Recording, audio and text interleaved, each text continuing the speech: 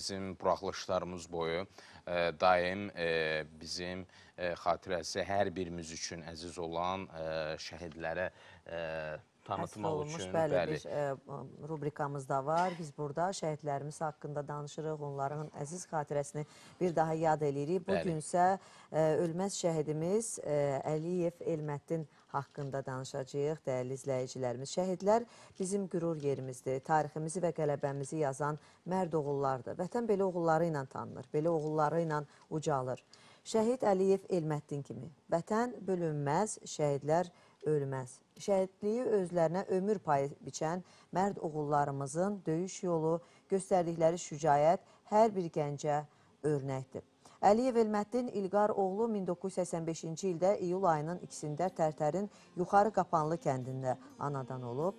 Nəriman Quliyev adına orta məktəbdə təhsil alıb və 2002-ci ildə əskərliyə gedib.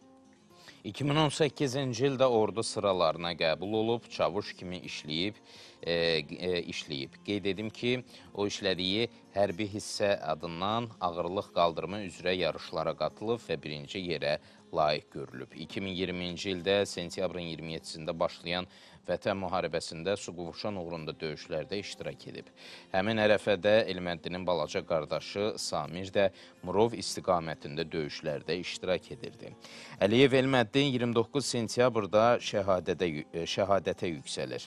Mərd oğlumuz şəhid Elməddin Əliyev ölümündən sonra Suqovuşan uğrunda gedən döyüşlərdə göstərdiyi igidliyə görə və vətən uğrunda medalları ilə təltif edilib. Yaşadığımız qələbə, şanlı zəfər, azadlığın ə, qoxusunu hiss etdiyimiz aydın səma şəhidlərimizin əsəridir. Onlar tarixdə, qəlbimizdə sonsuza dək yaşayacaqlar. Necə ki, ruhlarını göylərə, cisimlərini vətən torpağına, sevgilərini isə qəlbimizə əmanət etmişik. Mm-hmm.